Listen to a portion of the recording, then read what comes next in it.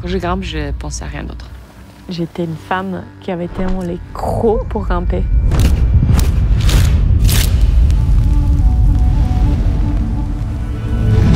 J'avais envie de changement.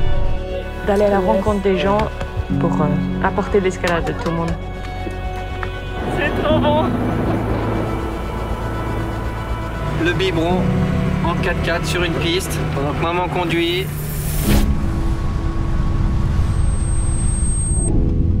C'est le Big Bang quoi dans ma tête. On n'était pas préparé, émotionnellement parlant, on a vraiment pris cher. Quand on a dit go, il n'y a pas de marche arrière.